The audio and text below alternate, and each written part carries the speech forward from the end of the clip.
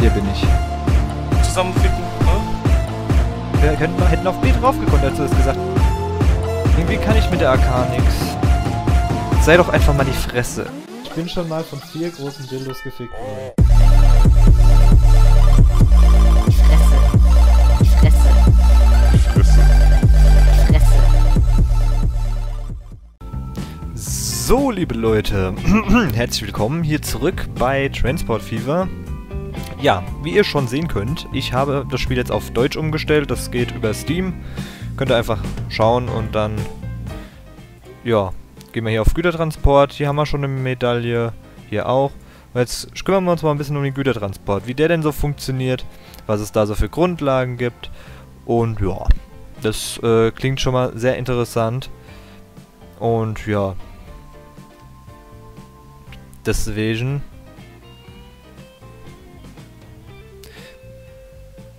Wir schauen mal rein. Ich bin ja mal gespannt, wie viele Tutorials es gibt. Schauen wir mal. Ich denke mal, es wird noch so einige geben. Äh, ich bitte das zu entschuldigen, aber ich will unbedingt die Tutorials mit euch spielen. Ähm, falls ihr ähm, ja, die Tutorials langweilig findet oder doof, ähm, dann tut's mir sehr leid. Ähm, kann es nicht ändern, aber ich bin ja auch irgendwann mit den Tutorials fertig, ne, so ist es nett. Und deswegen denke ich, ist es okay. Ich habe die Grafikeinstellung, äh, also beziehungsweise die Grafik habe ich komplett runtergestellt. Äh, und ich bin jetzt sehr gespannt, ähm, ob, ähm, ob, ob, ob, ob, ob, ob, ob jetzt ähm, die FPS besser sind. Es wäre peinlich, wenn nicht und schade, wenn nicht. Äh, ja. Weil es eigentlich echt ein cooles Spiel ist und durch die Performance echt schon wieder hier eigentlich ziemlich ja, nach unten gezogen wird. Ausgeglichene Bewertungen bei Steam. Äh, und das ist einfach schade für so ein tolles Spiel, ja. Aber wir schauen mal, wie das Spiel aussieht auf Low, auf den lowsten Einstellungen und vor allen Dingen, wie jetzt die FPS sind. Ob das im Verhältnis steht, ob es gut ist. Ähm, schauen wir einfach mal. So, das ist jetzt übrigens die erste Aufnahme mit meiner neuen Soundkarte. Ähm, meine alte Soundkarte hatte ja Probleme, äh, das hört man bei Sherlock Holmes äh, ab und zu. Ähm, dass es einfach anfängt so richtig laut zu rauschen und zu knacken und so. Ähm, natürlich das grundlegende Rauschen vom Mikrofon ist noch da. Wenn ich nicht rede oder das Spiel sehr leise ist, dann müsstet ihr das noch ein kleines bisschen hören. Ähm, aber das ist einfach ganz normal, ja, äh, das Mikrofon rauschen. Die einen mehr, die anderen weniger. Äh, ich werde auch irgendwann bald ein neues Headset bekommen. Das hat vielleicht, beziehungsweise das hat auch noch Rauschunterdrückung eingebaut. Das heißt, da dürfte dann überhaupt nichts mehr rauschen. Also im Mikrofon selbst ist schon die Rauschunterdrückung drin. Ähm, ja, so, Überblick. Die Bewohner der Stadt haben noch andere Bedürfnisse, als sich bloß herumkutschieren zu lassen. Die Stadt braucht Güter für Gewerbe- und Industriegebiete. Diese lassen die Stadt zusätzlich wachsen. Zeit, die Wirtschaft anzukurbeln. Falls du einmal nicht weißt, wo sich die aktuelle Aufgabe abspielt, klicke einfach auf das Fadenkreuz auf der linken oberen Ecke des Aufgabenfensters. Alles klar. Okay. Versorgen der Stadt mit Gütern. Äh, schaffe Arbeitsplätze und Einkaufsmöglichkeiten, werde zum Wirtschaftsmotor der Region. Es gibt eine ganze Reihe an Gütern, sechs davon sind sogenannte Endprodukte, die in die Stadt geliefert werden können. Das Beliefern der Städte fördert deren Wachstum, es schafft mehr Arbeitsplätze und Einkaufsmöglichkeiten, was wiederum für mehr Einwohner sorgt äh, verarbeitende Industrie, Betriebe, wel welche die Güter für den Endverbrauch in die Straße, äh, in die Stadt produzieren, befinden sich außerhalb der Städte. Hier zum Beispiel ist eine Fabrik, die Baumaterial herstellt. Baumaterial ist eines der Endprodukte, die von der Stadt verbraucht werden und als Rohstoff beim Stein benötigt, äh, benötigen, um hergestellt zu werden. Äh, Anfang der Produktionsstätte Stein, Steinbruch abgebaut. Der Steinbruch benötigt keine Güter, um zu funktionieren und bildet somit den Anfang der Produktionskette. Der Steinbruch hat bereits mit der Produktion von Stein begonnen und legt die Güter in sein Ausgangslager ab. Dein Ziel ist es, diese Waren zum, äh, zur Fabrik für Baumaterialien zu liefern.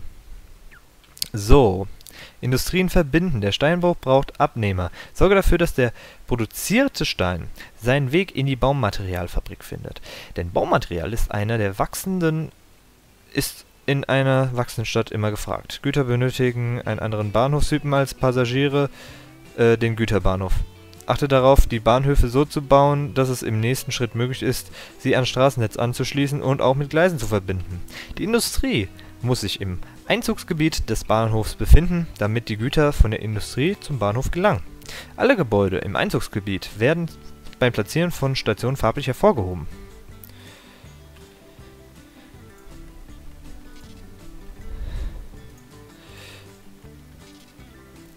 Ja, also die FPS sind zwar immer noch scheiße, aber sie sind besser, wenn alles auf Low steht. Aber das Spiel sieht halt auch extrem, naja, aus, muss man ganz ehrlich sagen.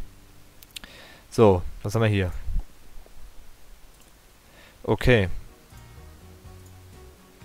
Kann ich hier auch weiterhin? Ich kann hier auch weiterhin Sachen zerstören, das ist schön. Und mir fällt gerade auf, dass, ähm, ja, mein Ingame-Sound ist viel zu leise. Jetzt ist es aber halt nicht so, dass ich jetzt einfach hingehen kann und das Spiel lauter drehen kann, weil dann hört ihr nichts mehr von meiner Stimme. Ähm, da muss ich nochmal ein bisschen nachjustieren bei meiner Soundkarte. Ah, genau. Hier kann man das jetzt umstellen. Okay. Güterbahnhof. Bahnhof für den Güterumschlag. Also sind unterschiedliche Arten von Güterbahnhöfen. Okay. So, na dann.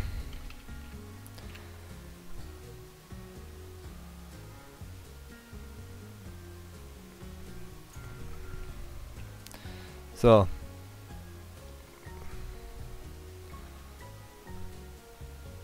Äh, Güterbahnhof im grünen Bereich bauen. Wo ist denn hier ein grüner Bereich? Ui. Hier hinten. Eieiei. So, dann machen wir hier. Alles klar. Güterbahnhöfe verbinden. Die Bahnhöfe sind errichtet. Nun steht dem Rollen der Steine nichts mehr im Wege, außer vielleicht ein unebenes Terrain. Nicht, nichts, das sich nicht mit Geld lösen ließe, wobei es sich doch lohnt, seine Strecke sorgfältig zu planen. Mhm, mhm. Okay, ja. Mhm. Da waren wir mit Gleisen verbinden. Okay. Alles klar, das machen wir doch mal direkt hier. So. Zack, also es ist deutlich besser auf den niedrigsten Einstellungen, aber auch nicht viel besser. Ähm, Könnt ihr mir ja mal in die Kommentare schreiben, ob ich jetzt auf niedrigen Einstellungen spielen soll. Oder äh, auf hohen. Je nachdem, wie ihr wollt. Äh, so geht das schon mal nicht. Müssen wir anders bauen. Machen wir mal so. Dann können wir das hier so machen. So. Okay, eine Bahnlinie einrichten. Schon mal können Sie wieder Steine schicken. Zum Glück ist so ein Stein weit weniger anspruchsvoll als ein Pendler. In die Linie unteren Menü und wählen Sie anschließend neue Linie. Haltestellen können per Klick auf die Haltestelle zur Linie hinzugeordnet werden, bla bla bla bla bla. Kennen wir ja alles schon. Zack und zack. Äh, halt, zack. So. Zugdepot bauen und abschließen. So, jawohl. Als nächstes also ein Zugdepot. Da dann, so. Und einmal hier drauf und einmal hier drauf. Und dann bauen wir ein Zugdepot. Äh, einmal da so hin, ne? Genau, Güterzug kaufen. Züge kaufen. Machen wir mal mit der hier schön. Dann kaufen wir mal ein paar Wagen. So. Für den Zug der Linie hinzu. Linie 1. Ja. Das müsste natürlich miteinander verbunden sein. So. Alles klar, Stein liefern, hervorragend. Der Zug macht sich auf den Weg, um die erste Ladung Stein abzuholen. In der Zwischenzeit kannst du den Steinbruch und die Fabrik Baumaterialien anklicken, um mehr über die Produktion zu erfahren. Die Wert der Wertproduktion gibt an, wie viel Güter der Betrieb im aktuellen Jahr produziert hat. Okay. Der Wert Limit gibt die maximale Jahresproduktion an. Diese steigt, wenn Güter regelmäßig und die entsprechende Menge abtransportiert werden.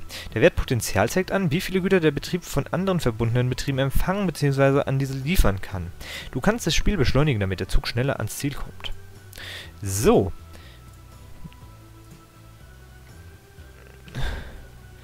Oberleitung an, aus. Wozu gehört diese Einstellung? Ach, da dazu einfach. Ah ja. Ja gut, dann lassen wir das Spiel mal ein Ticket schneller laufen, ne, würde ich sagen. Und ja, schauen wir mal hier. Also hier haben wir den Steinbruch. Die Quarry, genau. Linienbenutzung steht hier noch Nein. Das ist natürlich schade. Aber da machst du nix, würde ich sagen, ne?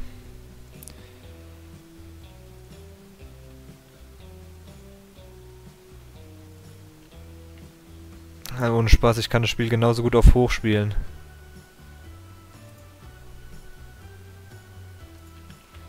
Innsbruck Ost an Straßennetz angeschlossen ist. Oi.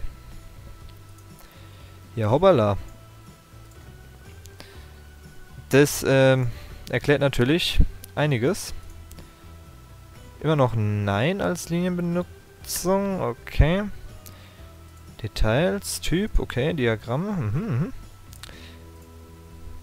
Alles klar. Immer noch Nein. Also ich werde auf jeden Fall die Grafikeinstellung wieder auf hoch stellen, weil...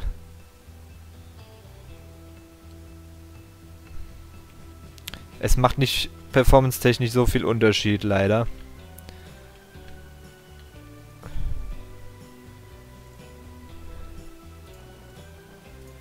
So, jawohl. Da haben wir doch einen Stein, oder? Drei von acht sogar. Wow. Passen da nur acht Steine rein? In einem Waggon?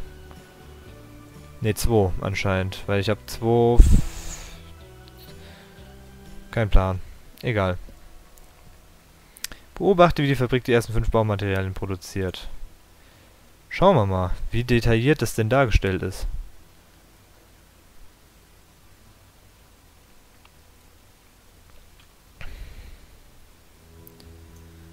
Kann man sich mittlerweile immer noch Cargo anzeigen lassen?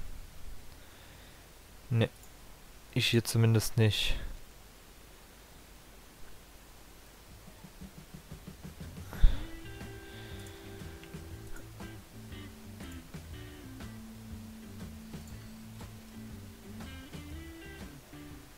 Okay. Fertig. Stadt beliefern. Das Lager der Fabrik füllt sich.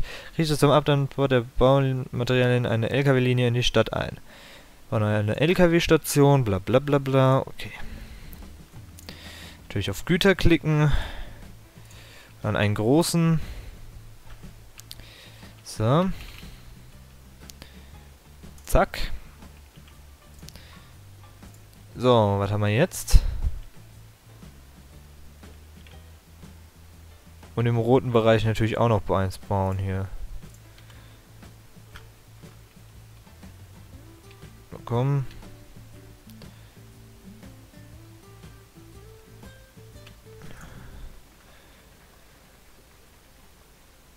Mhm, mhm, mhm.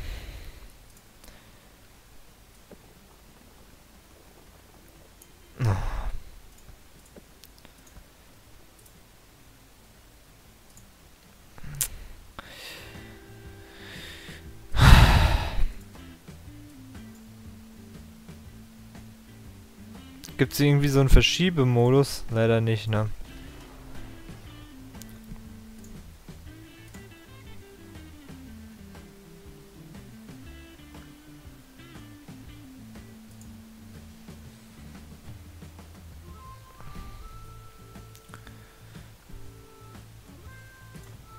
So, jetzt. Jetzt haben wir hier eine Verbindung. So, und jetzt können wir auch noch ein Depot einrichten, natürlich. So. Genau, so. Jetzt können wir hier wieder Dingens LKW kaufen. Nee, nichts aufrüsten. Opel Blitz kaufen wir.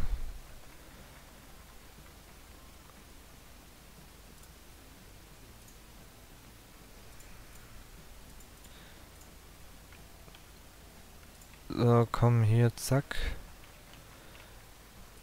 Zack.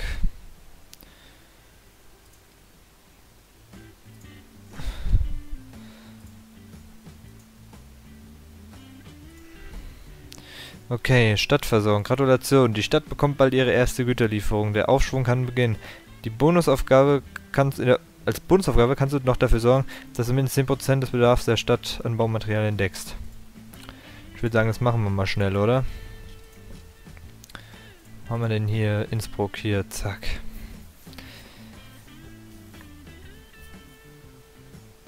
Zehn Prozent an Baumaterial, Treibstoff, okay.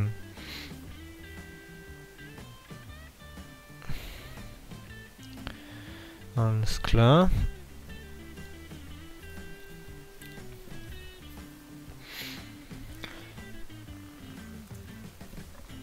So, was haben wir hier noch für Industrien? Aha, Food Processing Plant, okay, ja. Das ist ja nicht verkehrt. Hier haben wir einen Bauernhof, Schaffhausen Farm. Das ist auch schön. Auch schön, auch schön, auch schön. So.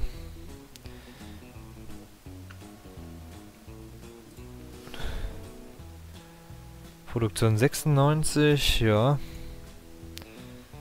Warten 6, okay. Produktion 84. Geschafft, juhu. Kehren wir ins Hauptmenü zurück, würde ich sagen, ne? Gratulation, du hast das Tutorial erfolgreich abgeschlossen. Ach, guck mal, das war's schon. So, würde ich sagen, die ganzen komischen Autosaves, die werden mal gelöscht. Oh, mittlerweile muss man auch löschen bestätigen sogar. Das ist ein neues Feature. Das ist eins der besten Features, würde ich sagen. Weil bei Train Fever hast du aus Versehen einfach mal deinen Kampagnenspielstand gelöscht. Oh, und Europa und Amerika sind direkt dabei. Oh, mit was fangen wir denn an? Fangen wir mit Amerika an, oder? Ich habe keine Ahnung, mit was wir anfangen sollen. Freies Spiel. Können wir auch machen. Custom. Weltformat 1 zu 1. Erweitert. Okay.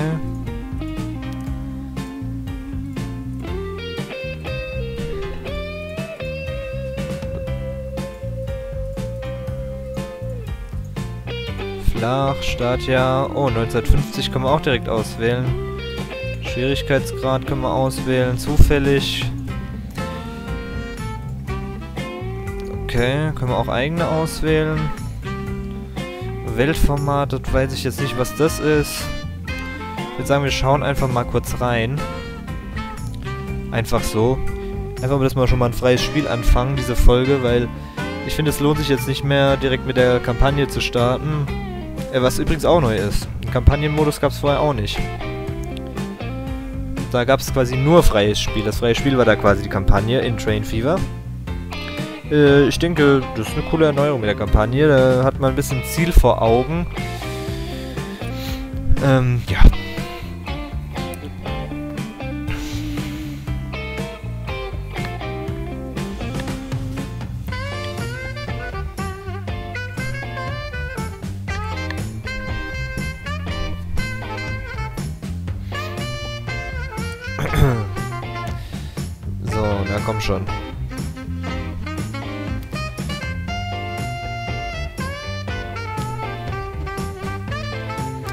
Wieso ladet, lädt das denn immer so lang, dieses Spiel, ey?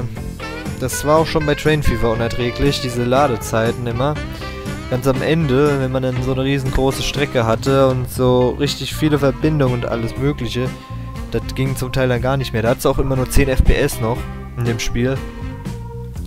Ähm, ja, das ist natürlich echt scheiße. Äh, ja, lässt sich leider nicht ändern.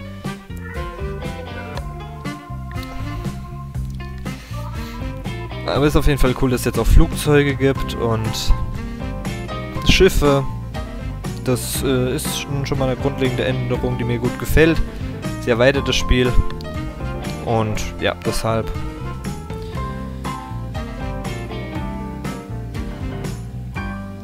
Ach, komm schon. Jetzt lad. Die Ladezeiten werdet ihr übrigens nicht nochmal sehen, denke ich, weil werde ich immer nicht aufnehmen. Logischerweise, weil sonst kriegt ihr hier noch mir einen Ausraster. Und dann, ja, ist's vorbei. So. Cool. Haben wir auch schon geladen, eine Welt. Ah.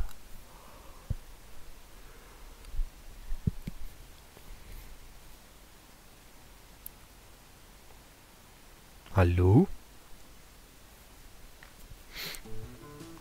Jawohl. So. Schön 60 FPS und ich bewege mich zum ersten Mal und schon sind die 60 FPS hinüber. So, und ihr seht schon...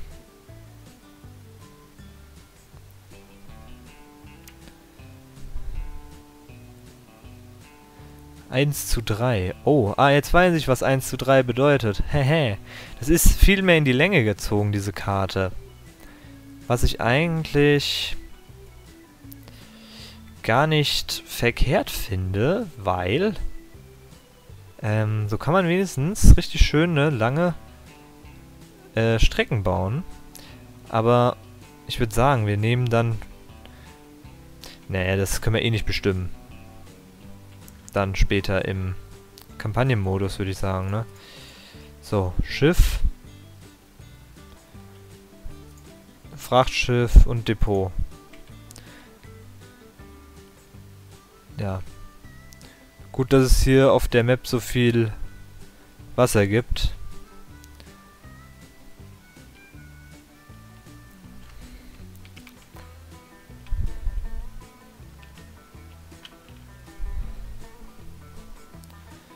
Alter.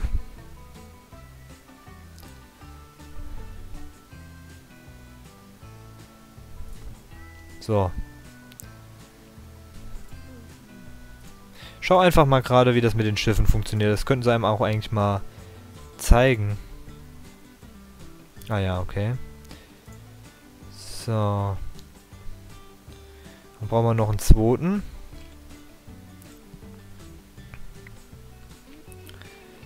Wo bietet sich das denn mal an? Hier.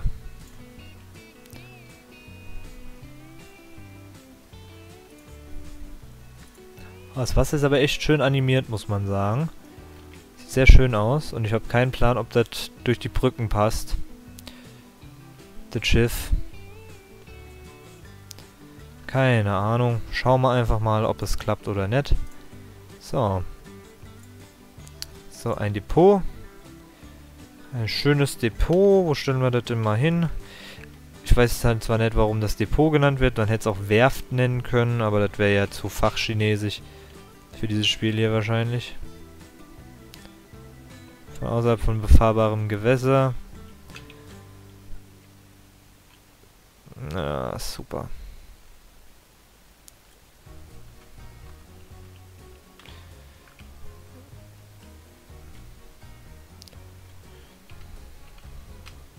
Komm, das hier ist aber befahrbar hier, oder? Oh, leck mich doch, Mann. Was ist denn das? Wieso ist denn das hier alles nicht befahrbar? Ich glaube, ich habe einen Arsch offen. Was ist denn das?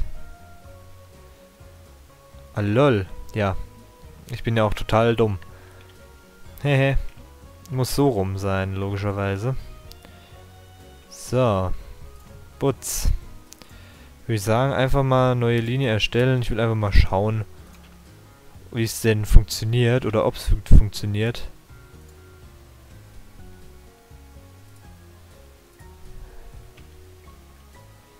Ja, das funktioniert ja prima, warte. Ist mir jetzt erstmal egal. Ja, komm hier, Alter, easy peasy, ey. Kann ich auch irgendwie Brücken bauen, die ja, ist nicht ans Straßennetz angeschlossen. Leck mir doch die sonst was. Das ist mir eigentlich erstmal schnurz scheißegal. So, komm, hier. Schön. So. Im Prinzip ist es einfach ein verbessertes Train Fever, kann man sagen hier.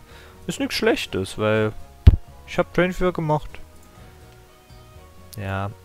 Der jetzt ist auch am Straßennetz angeschlossen. Was machst du jetzt? Tja. Hehe. Kannst nichts mehr meckern, ne? So. Schiffe kaufen.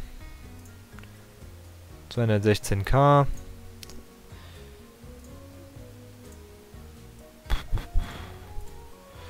Eins ist Passagier, eins ist Güter. Wir nehmen natürlich einen Passagier. Kaufen wir direkt 2. Linie zuweisen alle. Linie 1. Und dann schauen wir uns mal an, was denn dieses neue schöne Feature von Transport Fever so zu bieten hat. Aha.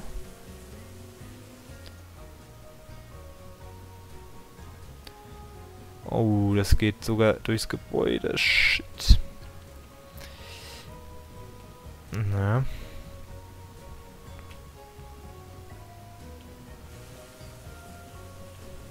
Ah, das ist natürlich wieder hier sehr schön gemacht. Kann man so sagen.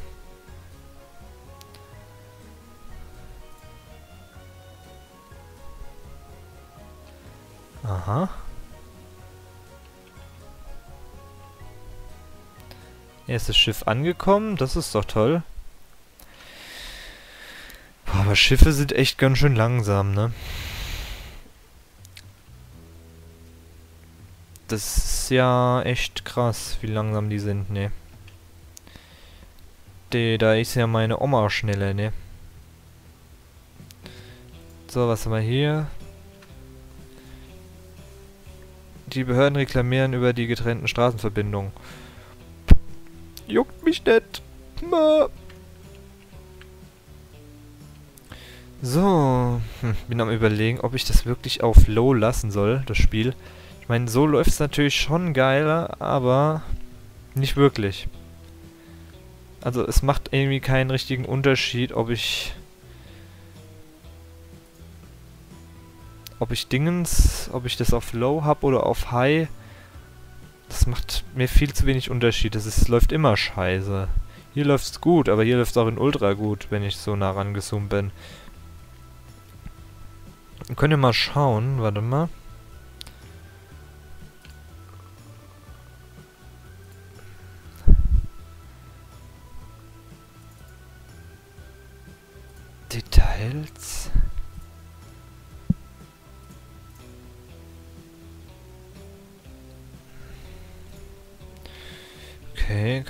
Mitfahren. Anhalten. Ach, guck mal hier. 22 km/h fährt der gute Zug. Äh, ja, der gute Zug. Ich meine das gute Boot. Ist ein bisschen schade, dass das Wasser nicht animiert ist. Das wäre es noch. Dies wäre das Highlight hier, ne? So, ich würde aber sagen, ich bedanke mich erstmal fürs Zuschauen. Und ja, ich mach, ich mach mal hier wieder aus, ne? Speichern tue ich nicht. Ähm, weil das war jetzt wirklich nur so ein kleiner Test. Ich würde sagen, nächste Folge fangen wir dann wirklich mit der Kampagne an. Und ja, deswegen, ich bedanke mich fürs Zuschauen. In, beim nächsten Mal geht's weiter mit der Kampagne. Ich freue mich drauf. Macht's gut, bis dahin. Tschüss.